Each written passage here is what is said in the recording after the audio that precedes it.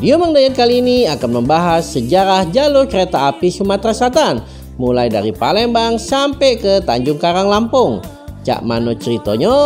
Tonton video Mang Dayat sampai habis. Jadi pegen, apa memang sifat awak pecah itu?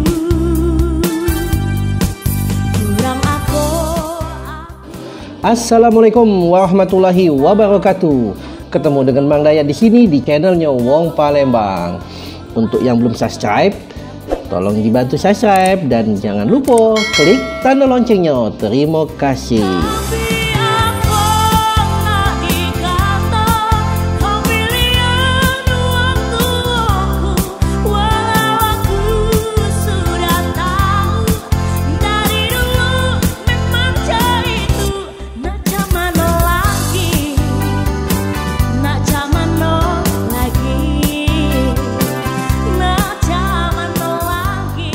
Saat ini, Stasiun Kertapati merupakan pintu gerbang kota Palembang yang menjadi salah satu urat nadi dalam transportasi orang maupun barang.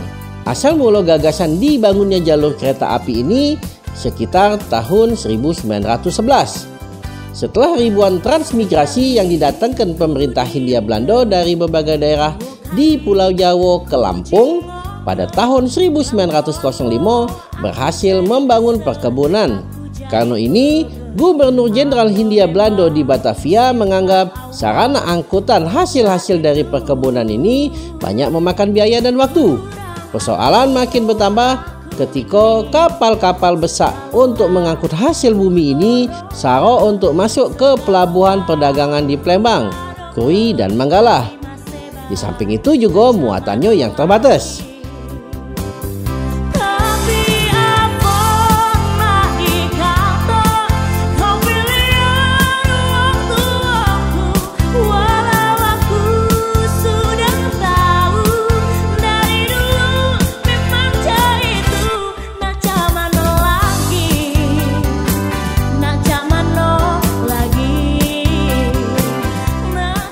Sebenarnya, gagasan untuk bangun rel kereta api ini lah sudah ada sejak tahun 1870-an. Tim ahli kereta api yang didatangkan dari Belanda disebar untuk meneliti di Pulau Sumatera guna untuk memungkinkan apa tidaknya dibangun jalur kereta api. Setelah penelitian ini akhirnya mendorong minat investor untuk membangun jalur kereta api di Sumatera bagian selatan pada tahun 1911 dengan mempekerjakan ribuan uang di Palembang dan di Tanjung Karang secara serentak, mereka membabat hutan-hutan dan meratok ke tanah, melintasi kawasan yang bukan pemukiman penduduk. Galo-galonya ini digawe ke di bawah pengawasan kolonial Belanda.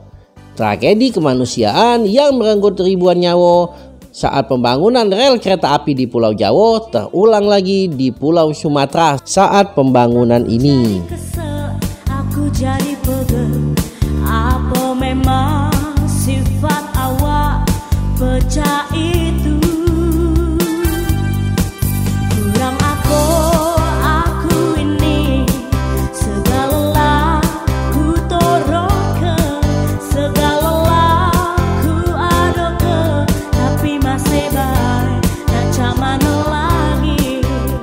Lintasan rel kereta api di Sumatera Selatan pertama kali dibangun sepanjang 12 km dari Panjang menuju Tanjung Karang Lampung. Jalur rel ini mulai dilewati kereta 3 Agustus 1914. Pada waktu bersamaan dilaksanakan juga pemasangan dan pembangunan lintasan rel dari Kertapati menuju Prabu Mule, Sumatera Selatan.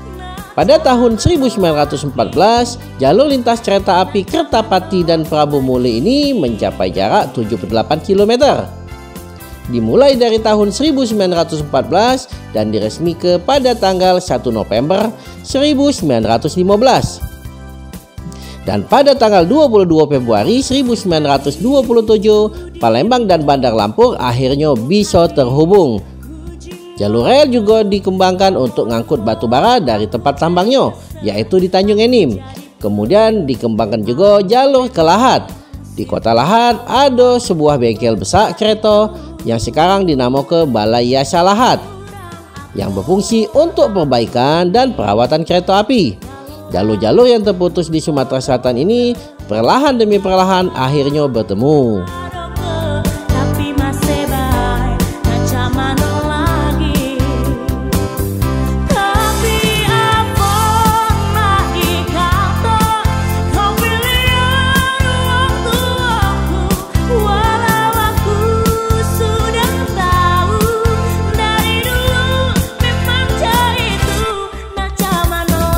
Sekian video Mang Dayat mengenai sejarah jalur kereta api Sumatera Selatan. Terima kasih untuk dulu-dulu Mang Dayat yang selama ini sudah share dan ngenjuk komentar membangunnya. Agar channel Mang Dayat lebih baik ke depannya. Kalau ada yang kurang berkenan baik dari narasi ataupun video, Mang Dayat mohon maaf. Kepada Allah Mang Dayat mohon ampun. Wassalamualaikum warahmatullahi wabarakatuh.